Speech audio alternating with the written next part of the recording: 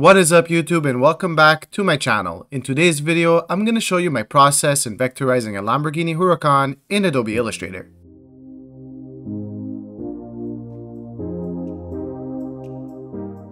Thank you so much for clicking on today's video. If you're new around here and you wish to learn my design style, then hit the subscribe button and turn on the bell notification so you don't miss any of my future uploads. And of course, if you have any questions during this process video, I'd be happy to answer them in the comments below. I hope you enjoy it and cheers!